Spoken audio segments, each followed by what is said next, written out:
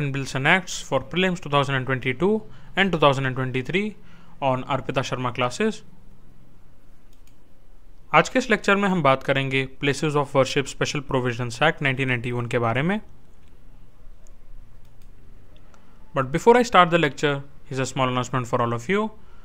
that An Academy has come up with free test series for UPSC civil service exam aspirants. An Academy Combat in which you will get 7 rounds of 56 questions in 60 minutes. The language will be in Hindi as well as in English. An academy combat is held on every Sunday 11 am that is 11 in the morning.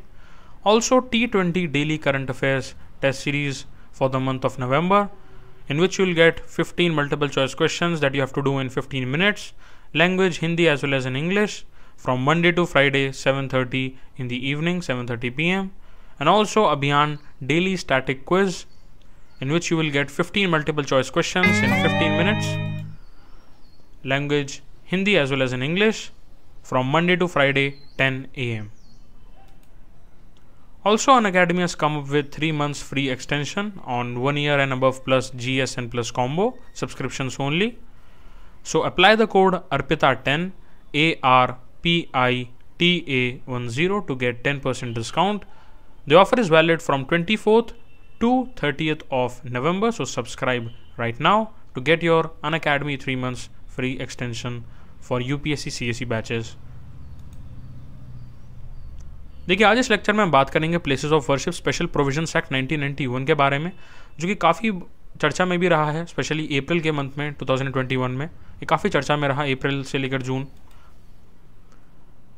no the question arises कि ये चर्चा में क्यों रहा? Why in news देखिए supreme court has आज the centre to respond to a plea challenging the places of worship special provision act 1991 का। जिसकी वजह से कि जो 15 अगस्त 1947 तक जो भी स्टेटस था of the places of worship उसको वहाँ पर फ्रीज कर दिया गया है। यानी कि सपोज़ कीजिए 15 अगस्त 1947 से पहले किसी भी प्लेस ऑफ़ वर्शिप जिसमें गिरजाघर यानी कि चर्च आ सकते हैं, गुरुद्वारा, मंदिर टेंपल इनफैक्ट मॉस्क भी आ सकता है, किसी भी तरीके का प्लेस ऑफ़ वर्शिप जो है। अगर उसका स्टेटस पहले कुछ था सपोज़ कीजिए 1750 में कोई और स्टेटस था सपोज़ कीजिए वहाँ पर पहले टेंपल था, उसके बाद 780 में इन्वेजन होता है और 1790 में उसका स्टेटस चेंज हो जाता है मॉस्क में। बट जैसा स्टेटस उसका 1947 में 15 अगस्त के दिन था, वो स्टेटस फ्रीज हो जाएगा per the as per the places of worship act of 1991 इसमें एक एग्जेप्शन था कि जो राम जन्मभूमि वाला जो केस है, वहाँ पर विवादित ढांचा जो है,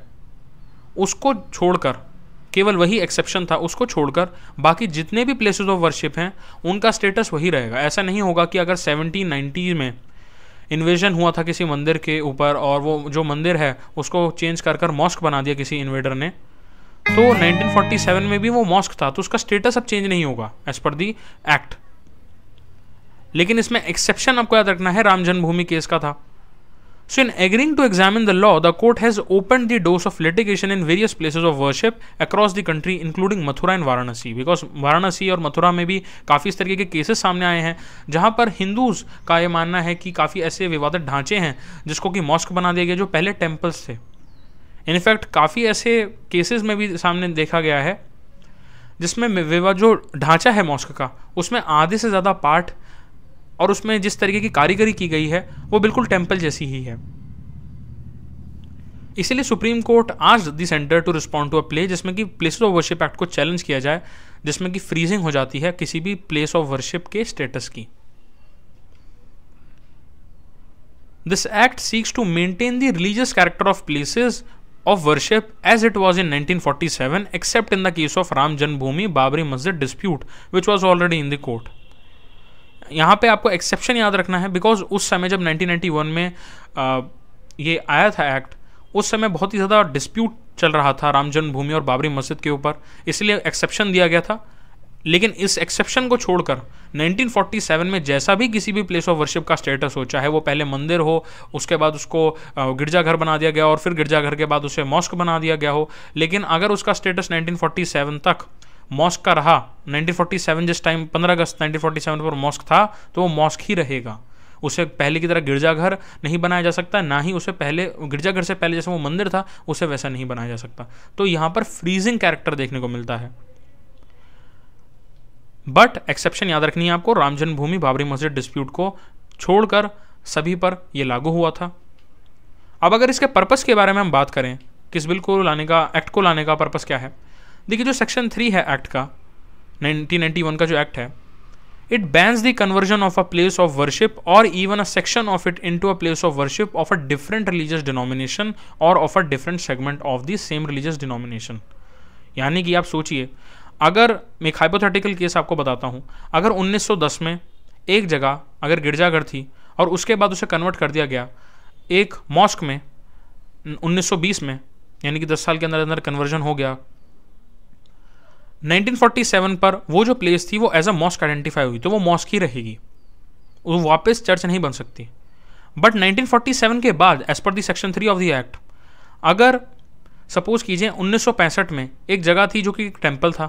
अब वो टेंपल को कन्वर्ट कर दिया जा सकता है मॉस्क में तो आंसर है नहीं। अगर ऐसा किया तो ये बैन एक्टिविटी है, इसके खिलाफ जो भी इस तरीके का कन्वर्जन करेंगे, उनके खिलाफ कार्रवाई होगी। तो सेक्शन थ्री एक्ट का साफ़ साफ़ कहता है कि 1947 के बाद जैसा स्टेटस है किसी भी रिलीजियस प्लेस ऑफ़ वर्शिप का, वो वैसा ही रहेगा, उसमें कन्वर्जन नहीं हो सकता है बैन है। Section three as per the act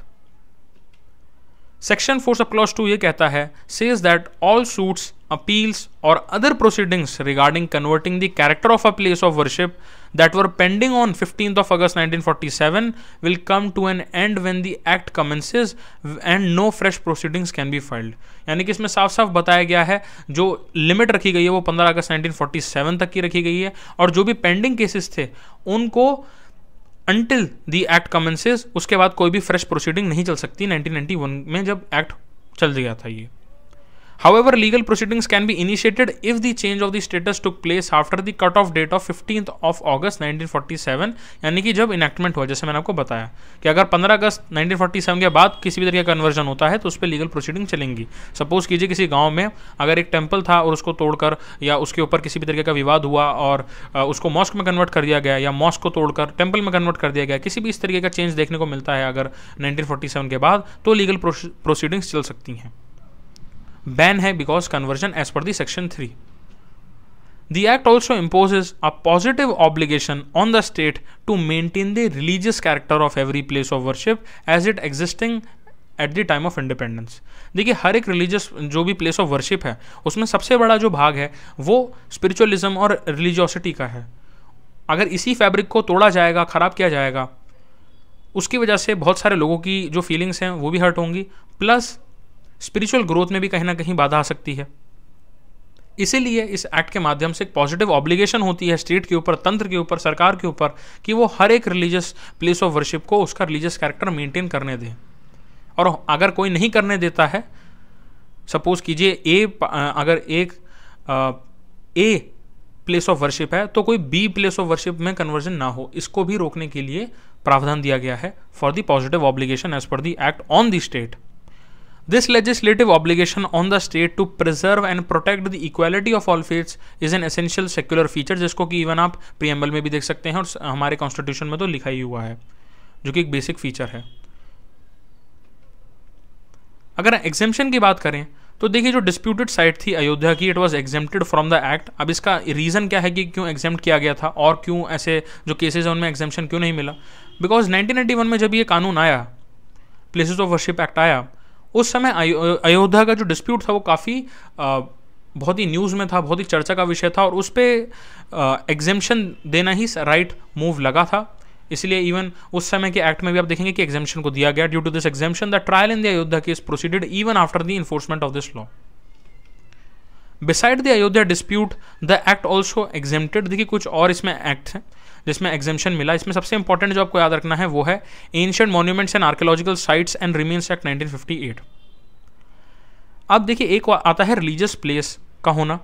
जिसमें मंदिर हो सकता है, मस्जिद हो सकता है, गुरुद्वारा हो सकता है, गिरजाघर हो सकता है चर्च टेंपल मॉस्क हो सकता है। But ancient monument and archaeological sites and remains act 1958 के according any place of worship which is an ancient or historical monument or an archaeological site वो इस एक्ट के अंडर आएगा। ये कोई भी जगह हो सकती है जिसको सौ साल या उससे ज़्यादा हो गया है तो उसको आर्कियोलॉजिकल सर्वे ऑफ़ इंडिया अपने अंडर लेगा under the ancient monuments and archaeological sites and remains act इसमें आर्कियोलॉजिकल ए जो है, उसका काम, उसकी देखभाल, उसको, उसका रख रखाव जो है, उसको देखने को रहेगा। ये पर्टिकुलर किसी ट्रस्ट को भी दिया जा सकता है अंडर सर्टेन सर्कमस्टांसेस बट ये भी एक एग्जामेशन है of the places of worship act 1991 तो कई बार एग्जामेशन आ जाते हैं तो आपको पता होना चाहिए।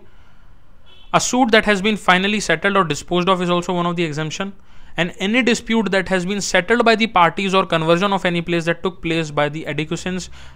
before the act was commenced, जैसे मैंने आपको बताया। यानी कि अगर 1947 से पहले 15 अगस्त 1947 से पहले इनफैक्ट अगर 14 अगस्त को भी किस तरीके का कन्वर्जन हुआ होगा और जो बन चुकी है वो साइट उसी को माना जाएगा। उसमें कोई और फर्दर कन्वर्जन नहीं होगा और 47 के बाद 15 अगस्त 1947 के बाद किसी भी तरीके के कन्वर्जन को सेक्शन थ्री बैन करता है ऑफ़ दिस एक्ट अगर पेनल्टी की बात करें कि पेनल्टी क्या है, देखिए सेक्शन सिक्स में बात करी जाती है of this act about the penalty which prescribes a punishment of maximum three years imprisonment along with a fine for contravening the provision of the act तो तीन साल की इंप्रिजनमेंट भी हो सकती है और फाइन भी हो सकता है या दोनों भी हो सकते हैं। अगर सुप्रीम कोर्ट के व्यू के बारे में बात करें 2019 में in the 2019 Ayodhya verdict the constitution bench refer to the law and said it manifests the secular values of the constitution and strictly prohibits retrogression अब इसी में पिटिशन के काफ़ी आर्ग्यूमेंट्स भी देखने को ये मिले बिकॉज़ काफ़ी ऐसे लोग हैं आ, कुछ इस तरीके के सेक्शंस हैं जो कि काफ़ी ऐसे प्लेसेस को आइडेंटिफाई किया गया है जहाँ पर प्रीवियस फंडामेंटलिस्ट बारबरिक इन्वेडर्स के द्वारा एक पर्टिकुलर हिंदू साइट को कन्वर्ट कर दिया गया था मॉस्क में। तो अब हिंदूज का ये भी कहना है कि why this exemptions was only given to the Ayodhya dispute काफ़ी ऐसे अराइज भी हो रहे हैं, जैसे इवन मथुरा में भी केस सामने आता है जयपुर में भी केस सामने आता है। So it has been challenge on the ground that the act violate secularism it has been also argued that the cut off date of fifteenth of August nineteen forty seven is very arbitrary irrational and retrospective because it prohibits जितने भी हिंदू हैं जैन्स हैं Buddhist हैं and even Sikhs from approaching the court to reclaim their place of worship which were invaded and encroached upon by fundamentalist barbaric invaders because हमारे संविधान में भी ये बताया हुआ है कि आपकी जो भी रिलीजियस प्रैक्टिसेस हैं, आप उन्हें कर सकते हैं, ये हमारा फंडामेंटल राइट है। और अगर नहीं कोई करने देता है तो उसके लिए आप आर्टिकल 32 के अकॉर्डिंग जा सकते हैं to the judiciary to the courts और इस पार्ट को रोकना बाय दी एक्ट काफ़ी लोगों के द्वारा स्पेशली जो इसको चाहते हैं कि ये जो एक्ट है ये बहुत आर्बिट्री है इरेशनल है जो इसको कहते हैं उनके द्वारा ये बात रखी जाती है कि ये जो एक्ट है कहीं ना कहीं ये बहुत ही आ, ऐसा एक्ट है जिससे चेंज हो रहा है दी फंडामेंटल राइट वाला पार्ट आर्टिकल 32 का पार्ट जिसमें सेक्युलरिज्म भी काफ़ी चैलेंज हो रहा है। So these are the petition arguments that you need to also remember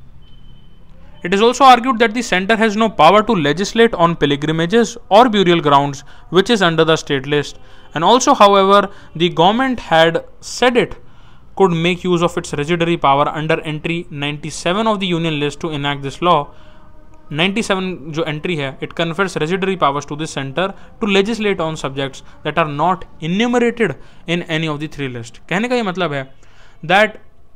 centre के पास कोई भी पावर नहीं है to legislate on the burial ground वाला पार्ट और ये भी एक पटिशन आर्ग्यूमेंट में दिया जाता है बिकॉज़ ये स्टेट लिस्ट का पार्ट है। और यही फेडरलिज्म का कुछ सेक्शन हमें देखने को मिलता है, जिसकी वजह से कुछ लोगों के द्वारा ये कहा जाता है कि इस फेडरलिज्म की वजह से जहाँ सेंटर और स्टेट के अलग अलग पावर्स हैं,